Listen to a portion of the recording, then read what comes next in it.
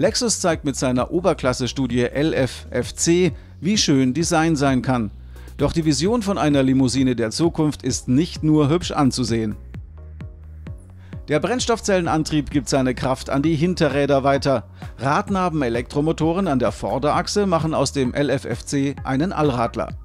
Die beiden Systeme verteilen die Antriebskräfte zwischen Vorder- und Hinterrädern in Millisekunden und sorgen so für mehr Stabilität und Agilität. Die 5,30 Meter lange Limousine bietet so als sportlicher Gleiter auf Autobahnen und Landstraßen besonders viel Fahrspaß. Der markante Gran Turismo verbindet progressiven Luxus und Hightech. Die Front dominiert der Diabolo-Grill mit L-förmigen Tagfahrleuchten bis in den Kotflügel hinein. Das Heck bestimmen bis zum Nummernschild reichende Leuchten mit einer neu interpretierten Diffusoreinheit.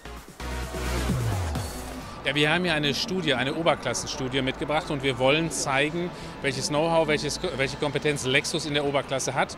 Und in naher Zukunft wird es ein neues Oberklassemodell geben bei Lexus. Und dieses Fahrzeug ein, wirft einen Ausblick darauf, wie es sein kann.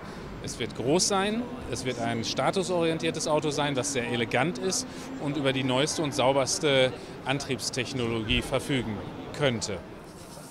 Der neue Lexus RX 450h tritt gegen den BMW X5 oder den Audi Q7 an.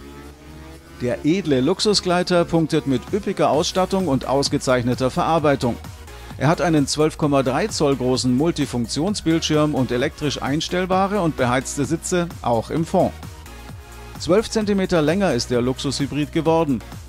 Das Ladevolumen stieg von 446 auf 593 Liter. Maximal passen mehr als 1600 Liter in den großen Japaner. Der mächtige Kühlergrill des RX 450h ist eine Ansage und gibt dem Hybrid-SUV Souveränität. Er ist 14 PS stärker als sein Vorgänger. Die 313 PS stammen von einem 3,5 Liter V6-Benziner und zwei Elektromotoren. Der Sprint von 0 auf 100 ist nach 7,7 Sekunden vorbei. Maximal wird der 2,2 Tonner 200 km/h schnell. Ein Soundgenerator sorgt für den passenden Klang, wenn es mal nicht elektrisch leise, sondern etwas kerniger vorwärts gehen soll.